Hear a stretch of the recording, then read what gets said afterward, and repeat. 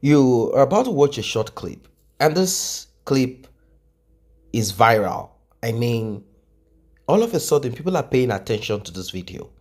And although it didn't happen in Africa, one will kind of wonder why stiff and stronger measures have not been taken. I mean, punishment wise.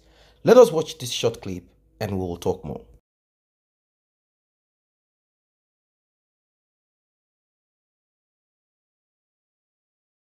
Welcome back. Sad, right? Very much sad. A lot of people have reacted to this video, even though it is said to have um, been released sometimes last year or thereabout. This video went viral and it got a lot of people talking. I mean, this video got a lot of attention on it. And um, According to the report that we heard, they said this lady apologized and a letter was written to the family of the young lady, but strong and stiff measures were not taken against that woman. Why? Because the institution that um, should or would have done so ah, internally raises themselves. They are happy and um, at times they just want to show empathy or sympathy by coming out to say, No, I am this, I like that. You know, it's disgusting when you hear a Caucasian saying, I am white. Nobody is white. I am white. I like black people. I have never seen anybody black. I'm not trying to say black is um, something disgusting, but black simply means absence of color. That's what it means. A lot of people do not know that. Anyway, all I've seen in this life is um, shade of brown. That's it. I've seen shades of brown. You might want to say peach, but I've seen shade of brown, darker brown, chocolate brown, and all of that. That's what I've seen in life. Well, let us leave the color aspect or the color spectrum out of this. The young lady was excited, thinking that she is in a free country, a country where she can exercise all our God given talents, gifts, and feel free.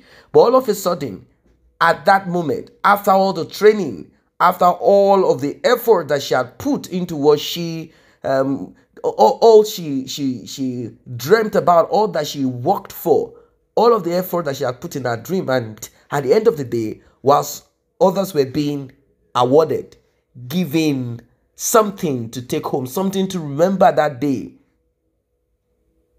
well, she was skipped. And obviously, the woman intentionally skipped. The lie is that, oh, she forgot it, uh, she didn't remember. That's a big lie. We saw, you see, there's something called body language. You need to do uh, more of code reading where you look at people's mannerism, the way she hung her body, the way she moved, she the way she went back to pick when the medals finished to put on the rest of the children. But this one, she did it openly in public. She wanted people to see, and she wanted the children there to learn, to see. Now, the funniest of it is this the photographer behind saw this happening, kept taking pictures. He paused and saw it. Like, you didn't put medal on this one.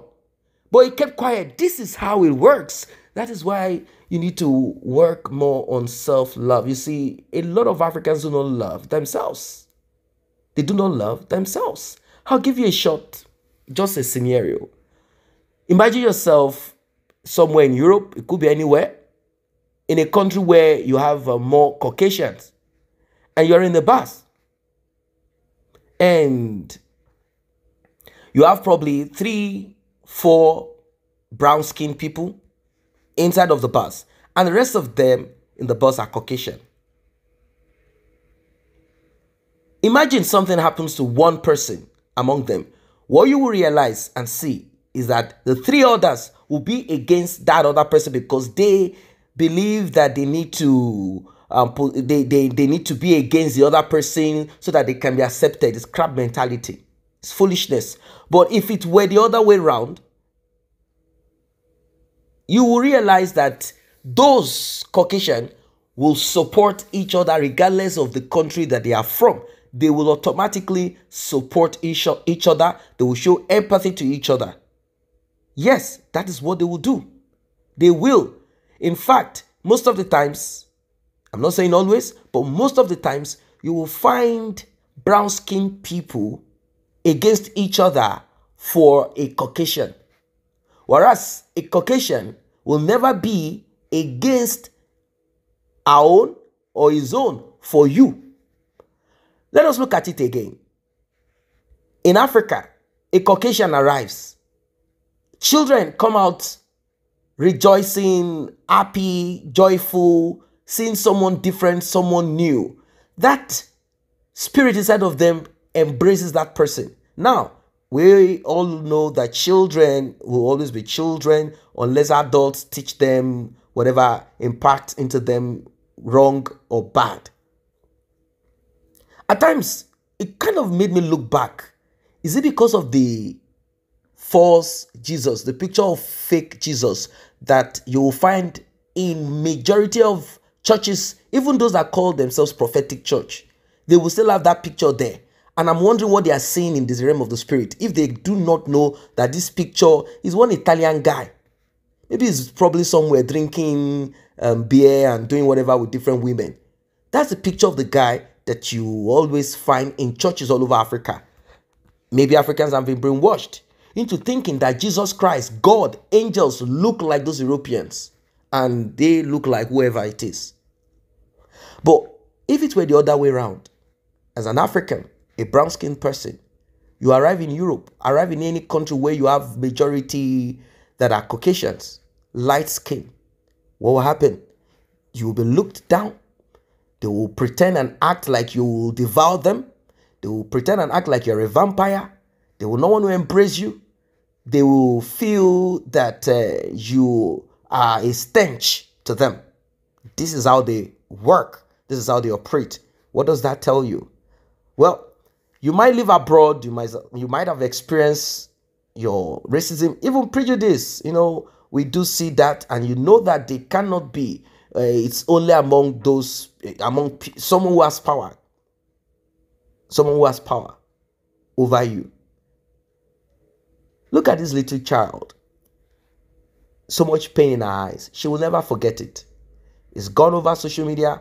And I think it's time for those who have the voice, like how we are lending our voice to it, for them to rise up against that for that child. You know, social media has done some very great and good things like this one.